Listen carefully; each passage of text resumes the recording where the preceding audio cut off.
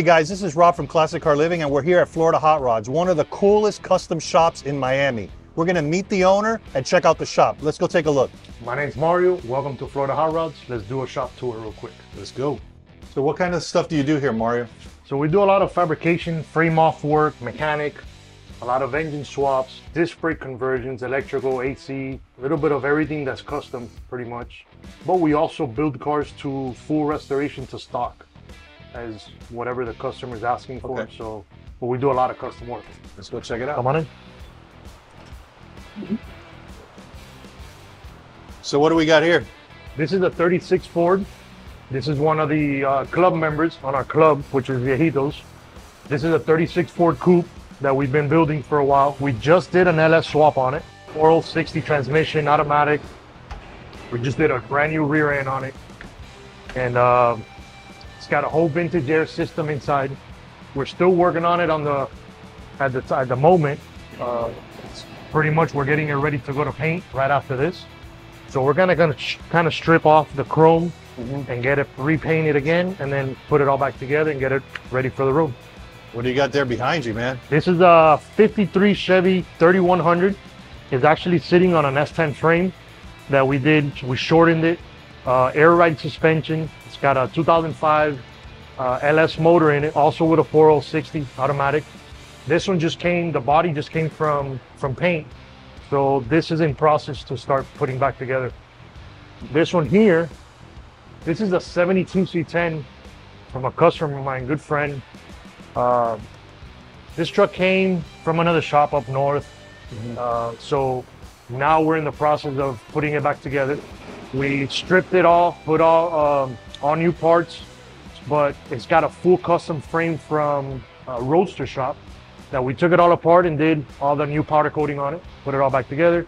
And also it's in process of, of building back together. We got a motor, uh, LS3 supercharged that we got to paint and, and put it back in there. So this will also be on the road soon. What do we got down here? This one's a also a 50. This is a 50 Chevy 3100, same as the blue one, uh, just a different color, different setup. Also, we're doing a, an LT 2020 LT Camaro motor, LS3, uh, 10-speed transmission, air ride. This one was pretty much frame off, everything brand new. We did suspension, rear end, bags, all the back brackets, everything in-house, fabricated. So we try to buy as less as possible. We kind of fabricate everything in house. That's From motor mount, transmission mount, airbag brackets, two links, four links, shock route, pretty much everything. oh wow. Yeah. Then we send it out. Once we're done with the frame, we send it out to powder coat. Uh, same thing we did with the yellow one. Wow. Uh, here I got a couple motors for customers that are waiting for swaps. nice. And so, what's on this side? This side here is my fabrication side, which is the dirty side. Here we got a plasma table, and how, it's pretty much how we make all our, our brackets and, and stuff for the swaps and air ride, and pretty much anything we got to do as far as custom, we make it on the on the table. Here we got all the pretty much all the machines, the uh, benders, the shear, I got all the all the metal pretty much stacked up uh, our welding table back here. We got a drill press. This is our bead roller. So pretty much this is how we make all of our designs on our floors, firewalls, any type of panel we make. This is the machine that actually makes all that. Uh, we do everything by hand. So pretty much the only machine that really cuts things out is the plasma. You don't, Uh, you don't, everything else. You don't see a lot of that here in Miami. That's you see it mostly in California, right? Yeah. That's what what's interesting about your shop is that we don't see this a lot. there's not a lot of fabrication shops down here. And I, like I said before, I, I try to make everything by hand in-house. So the less I gotta buy, the better. Uh, sometimes we, you, you go buy and you try to go buy a, a panel for a car to make, to do body work, to do some type of replacement of rust. And it's never a panel that goes on directly. So you're spending money on a panel that you have to cut up to make it work. Correct. So that's why I came with a conclusion that no more buying panels. I make it all myself, and that is gonna be directly bolt on or weld on or whatever. And it's gonna fit I make perfect. it directly to what I need right, because I have all the cars here to make it. you right. know, So, Kind of like behind you. so this is a 48 Suburban. This is one of my personal cars that I'm working on. Uh, it's it's in the process, so pretty much frames all been redone by the previous owner. It's got an LS already in it, so I'm doing some of the metal work that it needs. Uh, and then right after the metal work, obviously goes also the paint, and then it comes back to put it back together and get it running. So these fenders were already done. These fenders are, I, I believe the the previous owner had put them new. The hood's new, the front fenders are new. Right. Everything else is pretty much original from the truck. Wow. This is a 6.0 LS motor, a 4L60 transmission. It's got a Mustang 2 front suspension, disc brakes all around, uh, Camaro rear end. Uh, previous owner had done the firewall already. It looks nice, so I'm gonna leave it. Perfect. So there's there's a lot of things that have been redone on this car that by the previous owner that are that are done correctly. So they're gonna they're gonna stay the way they are. Was This here is a 73 Chevy Caprice. Uh, so for instance, I was saying about the panels, this car here, we bought quarters for it. And the quarters were completely different so for what, what we needed. Everything on the design was different. It was different here, it was different here, and it was different in the front. So I decided to fix the current quarter panels where we just make panels for it. So this here, we actually cut it right here and we weld butt to butt on the metal. So we don't do metal on top of metal, we butt to butt so that when it's done, you can't tell what happened there. Everything gets cut out for the factory lights and then all the bends are factory. So everything looks like if nothing ever happened.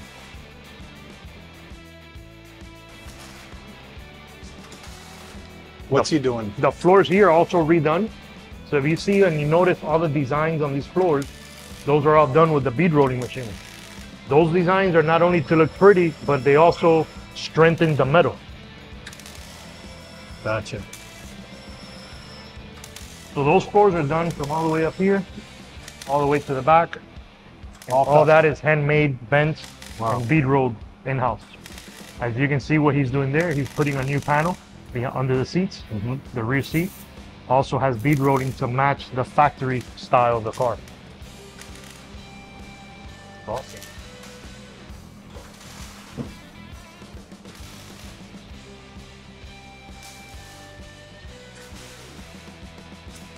This is a, an 84 Chevy C10. We're doing a, a 4-6 drop flip kit. And we did some metal work that was already kind of bubbling up. And we kind of repaired that so it doesn't get any worse.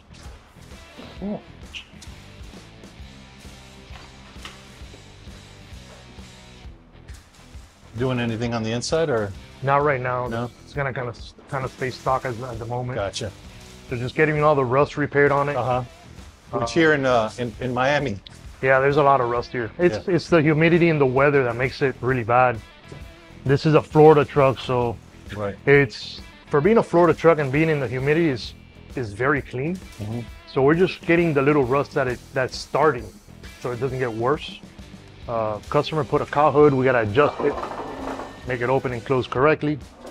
It's got a LS6 in it from a 2001 Corvette, AC vintage air.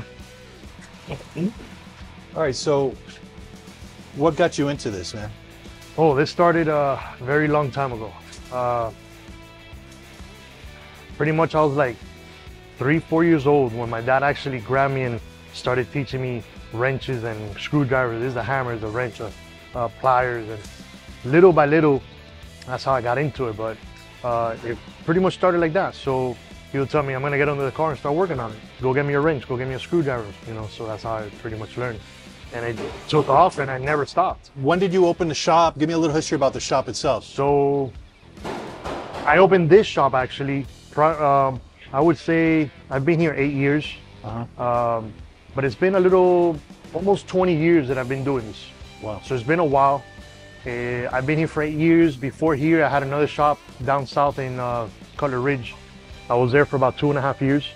But this all started as a hobby in the uh, backyard, working on friends' cars and my personal cars.